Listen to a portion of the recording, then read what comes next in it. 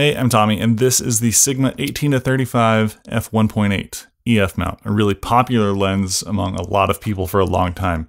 This lens is also the Sigma 18 to 35 1.8, but it's been converted into a cine lens by PC Hood Cinematics. It took an old Sigma 18 to 35, took all the glass out of it, and rehoused it into this cinema body. These lenses are the same glass, so they should produce the same image. So why would you pay 15 to $1,700 to rehouse this lens into this one? Well, first and most obviously, it looks really cool. And if you want clout on Instagram, this is the first step you should take. I'm just kidding.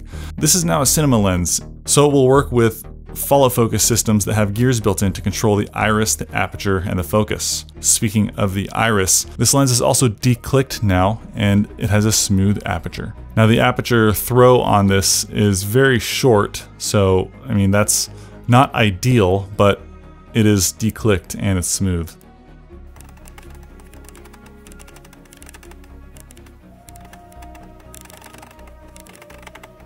The other and probably the most interesting difference for me and why I would mostly consider doing this is this lens is now parfocal. Now if you were to zoom in or zoom out with this lens and you had it on manual focus, you would notice whatever you zoom in or zoom out of, it, it's no longer in focus by the time you get to your next focal length. It is a completely manual lens, so there's no autofocus anymore, but it's parfocal, so if you zoom in or zoom out, it remains in focus the entire time. That's really important if you're trying to do slow, smooth zooming shots and you want to stay in focus. It also means if you have a person who's trying to pull focus, it's going to be a lot easier if you're also zooming in and zooming out.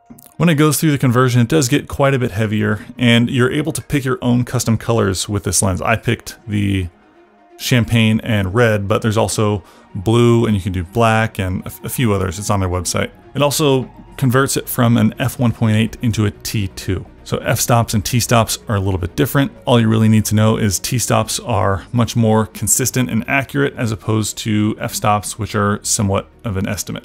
And that's that's really about it. If you wanted to actually buy Sigma's version of the Sigma 18 to 35 in a cine lens, it costs about $3,000.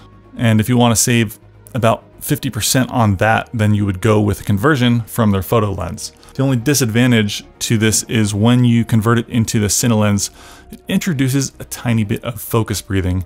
And I've seen it worse in other reviewers. In mine, it doesn't look so bad. I think maybe they've improved their process a little bit. But you also save about $1,500, so it's uh, it's whatever you need. Uh, I'd say if you want to save some money, grab these. So let's do some side-by-side -side comparisons, comparing uh, the parfocalness and the image quality and f1.8 versus T2 because those are really the only things that are super different.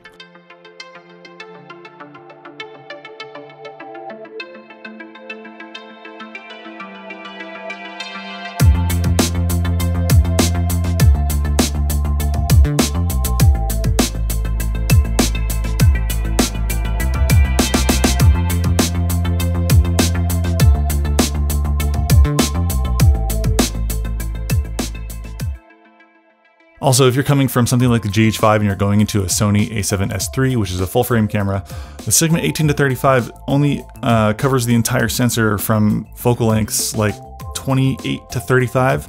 Anything beyond that, then uh, you introduce heavy vignetting because this is not a full frame lens.